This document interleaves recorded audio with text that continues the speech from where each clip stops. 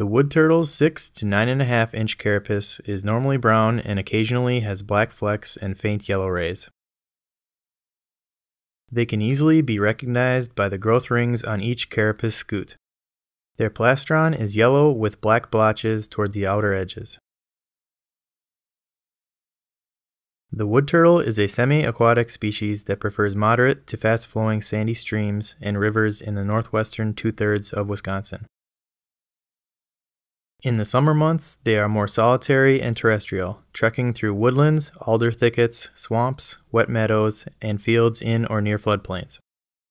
Much of their time is spent foraging in forested habitats for berries, vegetation, night crawlers, worms, and other invertebrates. Wood turtles are listed as a Wisconsin state threatened species and a species of greatest conservation need.